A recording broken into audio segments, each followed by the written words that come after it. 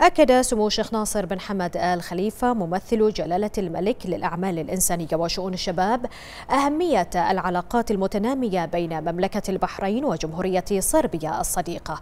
وفرص التعاون الواعدة بين البلدين الصديقين في العديد من المجالات تنفيذا لرؤى وتطلعات حضرة صاحب الجلالة الملك حمد بن عيسى آل خليفة عاهل البلاد المفدى حفظه الله ورعاه.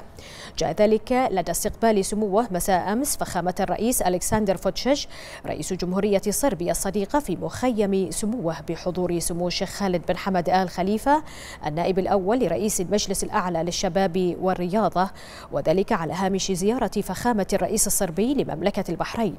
وخلال اللقاء قدم سمو الشيخ ناصر بن حمد آل خليفة لفخامة الرئيس الصربي إيجازا حول موروث مملكة البحرين وهوية المملكة العريقة وعدد من الهوايات والعادات الأصيلة التي تشتهر بها المملكة على مستوى المنطقة.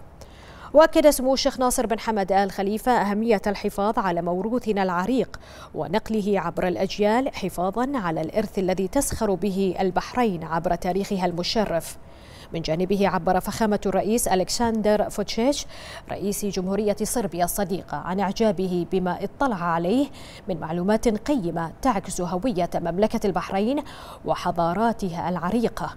متطلعا لتعزيز أوجه التعاون المشترك بين البلدين في العديد من المجالات ومنها المجالات الثقافية. هذا وقد أقام سمو الشيخ ناصر بن حمد آل خليفة مأدوبة عشاء تكريما لفخامة الرئيس الصربي والوفد المرافق.